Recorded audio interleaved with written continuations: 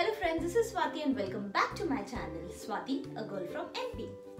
So, आज मैं आपको बनाना सिखा रही हूँ एप्पल एंड ओट्स पॉरेज जैसे कि आपको पता है कि ओट्स जो है वो बहुत ही हेल्दी होते हैं बेटी के लिए। वो हाईली रिच इन प्रोटीन होते हैं फाइबर होते हैं।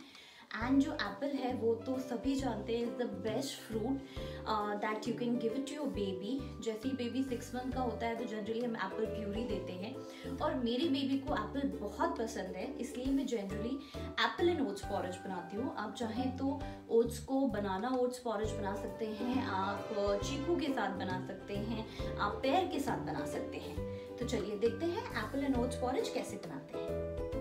एप्पल पॉरेज बनाने के लिए सबसे पहले हम पैन लेंगे। तो अब मैं इसमें डालूँगी आधी कटोरी ओट्स ये प्लेन ओट्स हैं। तो ओट्स जैसे कि मैंने आपको बताया it's highly rich in fibres and protein अब इसमें हम डालेंगे पानी।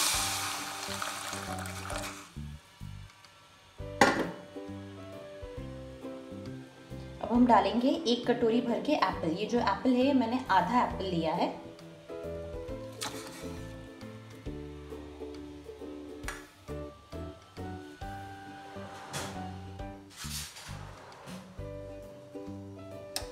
इसको हम बॉईल करेंगे एप्पल एंड ओट्स को साथ में।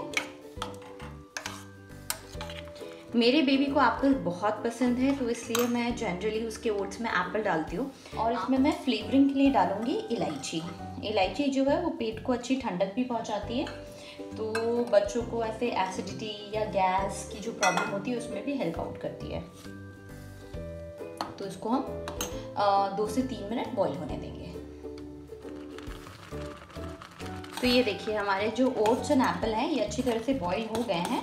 अब मैं इसमें डालूँगी दूध जिससे कि थोड़ा उसको, मेरे बेबी को दूध भी चला जाता है एप्पल एंड ओट्स के साथ तो मैं थोड़ा सा इसमें दूध डाल लेती हूँ बॉईल करने के बाद और फिर से मैं गैस ऑन करूँगी एंड थोड़ा दूध के साथ इसको बॉईल कर लूँगी। अगर आपका बेबी सिक्स मंथ्स का है आप अभी तक उसका ऑब्वियसली गाय का दूध नहीं दे रहे होंगे, मेरा बेबी जो है वो एक साल का हो चुका है तो आप फॉर्मूला मिल्क यूज़ कर सकते हैं लेकिन मेक श्योर sure, जब आप फॉर्मूला मिल्क यूज़ करें तो ग्राइंड करने के बाद आप फिर फॉर्मूला मिल्क डालें उसको हीट ना करें बिकॉज़ फॉर्मूला मिल्क को अगर आप हीट करते हैं तो उसकी जो न्यूट्रेंट उसमें जो आर्टिफिशियली जो न्यूट्रेंट वैल्यू होती है उसकी, वो कम हो जाती है। तो आप फॉर्मूला मिल्क को हीट ना करें और आप ब्रेस्ट मिल्क अगर इंस्टेड ऑफ़ फॉर्मूला मिल्क आप ब्रेस्ट मिल्क भी यूज़ कर सकते हैं। आप ब्रेस्ट मिल्क भी मिक्स कर सकते हैं एप्पल एंड ओट्स के साथ। अगर आपका बेबी सिक्स मंथ्स का है, अगर आपका बेबी एक साल से बड़ा है तो आप any time cow milk use कर सकते हैं। तो मैंने यहाँ पे काउ मिल्क यूज़ किया है।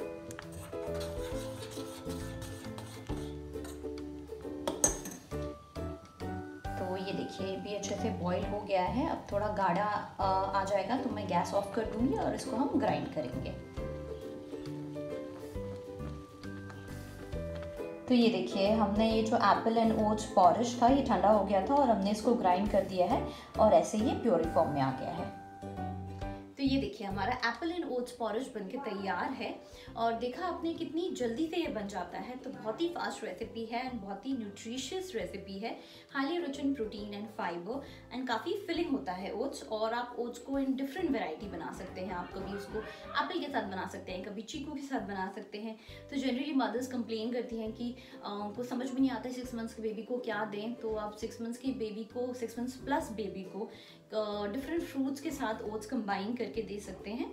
तो अगर आपको मेरी रेसिपी अच्छी लगी हो तो मेरे चैनल को लाइक करिए सब्सक्राइब करिए शेयर करिए अपने फैमिली और फ्रेंड्स के साथ। This is Swati signing off as of now see you soon with my next recipe bye take care